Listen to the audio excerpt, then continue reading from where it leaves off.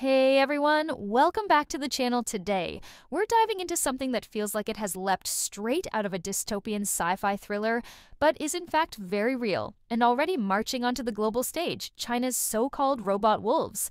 These are not just ordinary robots or gimmicky tech demonstrations.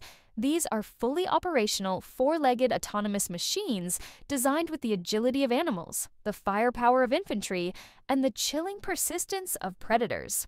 They have been showcased in recent Chinese military drills and parades, making headlines across the world not only for their futuristic appearance, but also for what they represent the dawn of a new era in warfare where machines hunt, advance, and fight alongside human soldiers. So, let's break down exactly what these mechanical wolves are and why they are causing such a buzz. Built as quadrupedal robots, similar in appearance to robotic dogs we've seen from companies like Boston Dynamics, these machines are specifically modified for combat roles. Their bodies are compact yet sturdy, capable of carrying heavy payloads, climbing rubble, crouching low to avoid detection, and advancing over rugged terrain like mountains, dense forests, and urban battlegrounds where wheeled or tracked vehicles would quickly get stuck.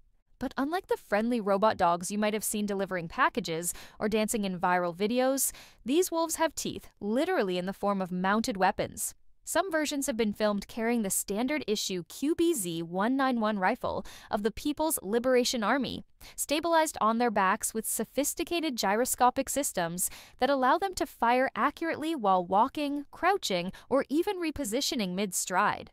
Imagine a machine that never tires, never flinches, and can put down sustained fire on command. That's what China has built. Now, here's where it gets even more impressive and frankly a little terrifying. These robot wolves are modular. That means the rifle is only one option.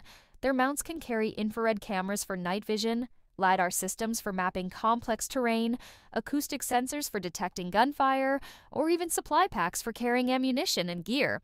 During recent military exercises with China's 76th Group Army, these robots were observed performing multiple roles. Some advanced ahead of infantry to suppress targets with gunfire, others acted as scouts feeding live video back to commanders, while others trudged along as robotic mules hauling supplies. It's like having an entire toolkit of capabilities packed into one mechanical body. What truly sets them apart, though, is their ability to operate in packs just like their biological namesakes. Using swarm algorithms and AI coordination, multiple robotic wolves can work together to flank enemies, form defensive perimeters, or launch coordinated attacks where one group provides suppressive fire while another maneuvers to strike from the side. Think about that for a second. You're facing not one robot, but an entire pack that moves in synchrony, relentless and fearless.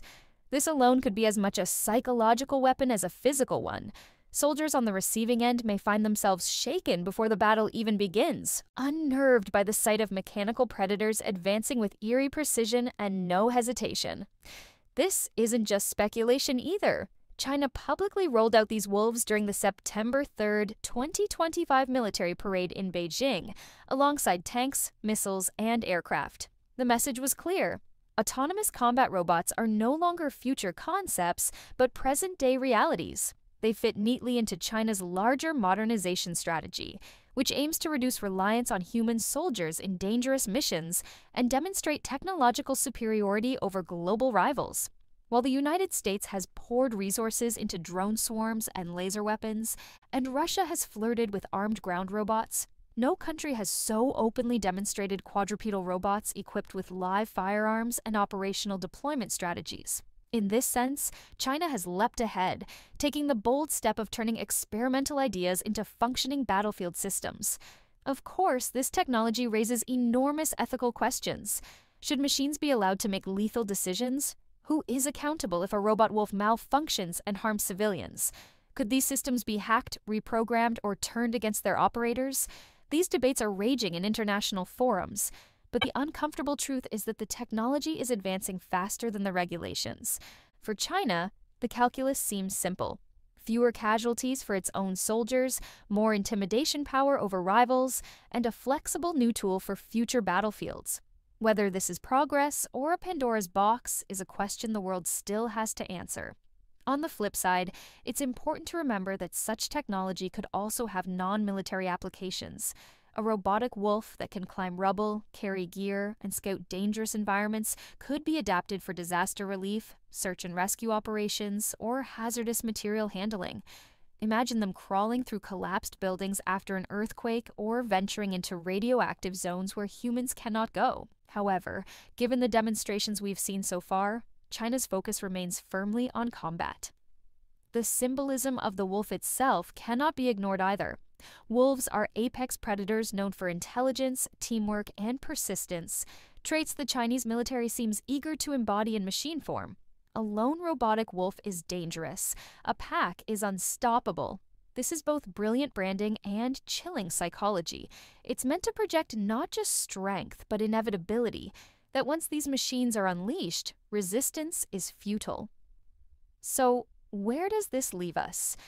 We are standing on the threshold of a new military age, where battlefields will no longer be dominated solely by humans, but shared with machines that can think, move, and kill. China's robotic wolves are the latest, boldest step in this transformation, and they serve as both a warning and a challenge to the rest of the world. Will other nations follow suit and create their own mechanical predators? Will there be international treaties banning autonomous lethal systems? Or will we soon see battles fought between packs of robot wolves across future conflict zones? The answers aren't here yet, but one thing is certain the wolves are out of the den, and the world will never look at warfare or technology the same way again. If you enjoyed this deep dive into China's robot wolves, make sure to smash that like button, subscribe to the channel, and share this video with your friends so more people can join the conversation. And I want to hear from you.